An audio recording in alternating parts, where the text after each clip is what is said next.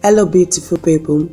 Welcome to another video. Today this is our fresh fish that has been roasted. We are going to re-roast it. So to roast this how we make our firewood.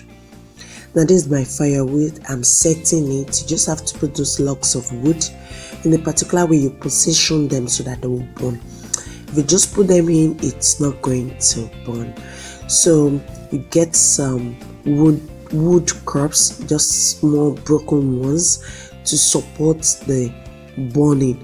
So you just say i just insert just small small broken firewoods.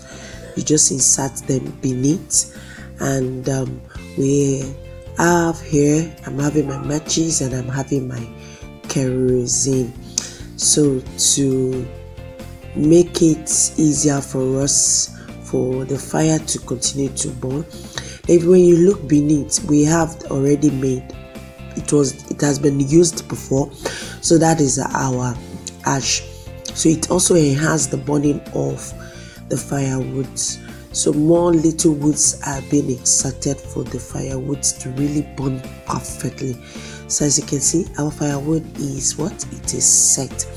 So we are going to use it like this to warm i mean our fish has been roasted. We want to re-roast it because you know this fresh fish of thing they usually get spoils easily. So if you don't have freezer you don't have fridge you have to do it over again until it's so so dry. And you can achieve that at the first roasting so we are going to re-roast it. And that's why we are making our firewood to do that. So our food firewood is burning. Then we're having our fish. We're just going to re-roast them.